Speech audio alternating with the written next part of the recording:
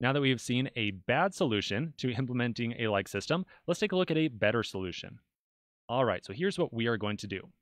We're going to add in a third table called likes. This table is going to have a couple of rows inside of it that's going to relate a user to a post. So for example, the very first row right here has a user ID value of 3. That would be user ID 3 right here, Janny. And then a post ID of 5. So it'd be that post right there. So this would indicate that Janny likes post with ID 5. So it's very easy for us to write out some different queries and figure out, say, what user likes a given post and what posts are liked by uh, different users. To make sure that a given user can only like each of these different posts exactly one time, we could also add on a unique constraint. The unique constraint would be on the likes table, and we would add it to the columns user ID and post ID. Now remember, whenever we add in a unique constraint and list out multiple columns, that does not mean that we want just the values inside of the user ID column to be unique and just the values inside of post ID to be unique. Instead, that means that we want to essentially take the values inside of post ID concatenate them together with the values inside of user ID and make sure that the resulting value is unique. So the plus here is not meant to say that we're going to add these numbers together.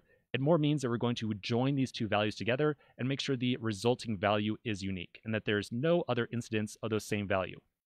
So if we ever tried to add in, say, another like here with 3 and 5, well, there's already another row with 3 and 5. So this would violate the unique constraint and we could not add in another like. So that's how we're going to make sure that any given user only likes a very certain post one single time. This kind of approach is also going to make sure that unliking a post is really simple and straightforward. Let's say that Janny doesn't want to like the post with ID 5 anymore. To remove that or to make sure that the user doesn't like that given post, we would then find the relevant row, so that's this one right here, and just delete it. And just like that, no longer does Janny like the post with ID 5. That's pretty much it. That's how we're going to implement our like system. Now, if we take this style of approach, we can start to write out a lot of interesting queries to figure out some really critical information that we'd want to probably display inside of our application. So for example, if we wanted to display the number of likes on post with ID number 3, we could write a query like this. We could find a list of the people who like the post with ID 3 by writing out something like this we could start to calculate some more interesting metrics and statistics, like, say, the IDs of the top five most liked posts by doing a little bit more fancy query.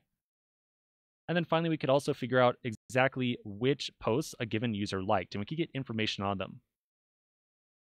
This like system, or this kind of approach, is useful not only for likes, but also something like favorites as well. So if we want to allow users to favorite different posts, we could use maybe some kind of favorites table and it's going to obey a lot of the same rules as a like system. So we probably want to only allow a user to favorite a post one time.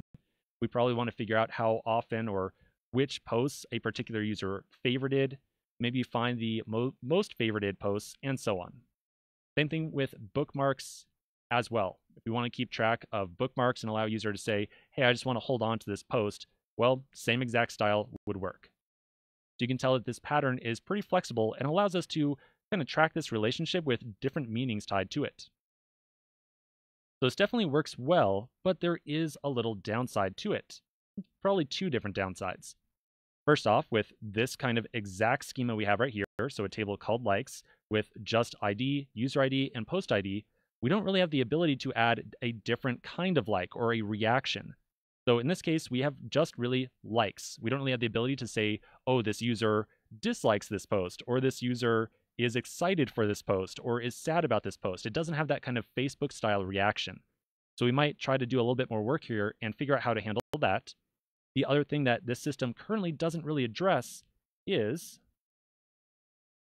the ability for a comment to be liked. So in that solution we just took a look at, it was really just about adding a like to a post, and it didn't really really allow us the ability to like a comment instead. Now, having some kind of like system that allows the user to like either a post or a comment is kind of a challenge in its own right. And that's actually something that we're going to have a discussion on in just a moment. Let's take a pause right here. We're going to come back in the next video. And we're going to start to think about how to allow a user to like a post or a comment And we're also going to think about some possible solution to also allow a user to maybe be excited about a post or just have some kind of generic reaction. So two more things to follow up on. Let's do that in the next video.